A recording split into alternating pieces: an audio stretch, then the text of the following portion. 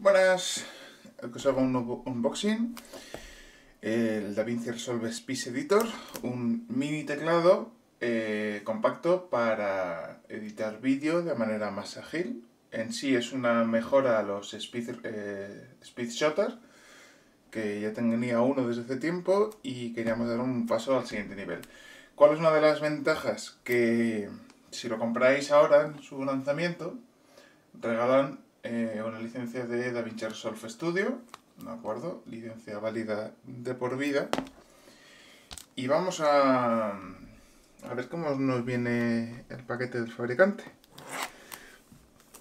Yo la otra licencia que tengo de DaVinci Resolve es compartida con un compañero que se compró una cámara y, él, y yo le monto sus vídeos, con lo cual la licencia es de él, aunque el único que la usa soy yo. Pero bueno, cada vez me gusta más el programa, así que decidí comprar un hardware de ellos. Eh, Blackmagic muchas veces cuando compras hardware de, lanzamiento o hardware de gama alta te lo suele regalar la licencia del software, así que está muy bien. Aquí detrás básicamente nos explica un poco la posición de las teclas principales, tiene puerto USB-C, el dispositivo es Bluetooth, ¿vale? es inalámbrico. El USB-C es o para conectarlo directamente o para cargarlo. Bueno, yo creo que es uno de los productos con mejor presentación que tiene la marca. Uy, el wheel es muy suave. Vale.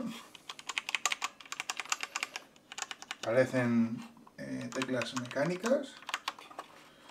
La parte de arriba es de aluminio, la parte de atrás es de plástico. Es muy pesado, ¿vale? Pesa bastante. Además, por cómo están los pesos, se nota que lo que tiene es una placa de plomo aquí y otra placa de plomo aquí, o, un metal contundente.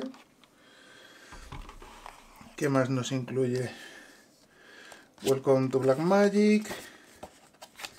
Vale. Que bueno, software install, unas pegatinillas a nuestra workstation, muy bonitos. Totalmente compatible con DaVinci Resolve Free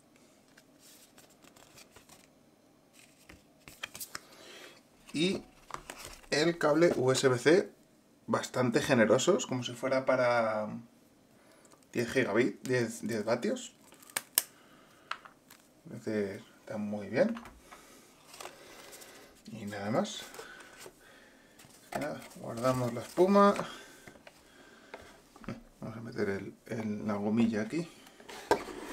El wheel, la cuestión esta es que solo, no es pulso es decir, no tiene cliquis, ¿de acuerdo? Es a rueda suave. Aunque el ruido de pulsación es un poco horrible, ¿eh? La cuestión es que si queremos funcionar a clip, es decir, los distintos tipos de funcionamiento, los podemos cambiar aquí. Tenemos el jog, las fuentes originales, manejar el timeline.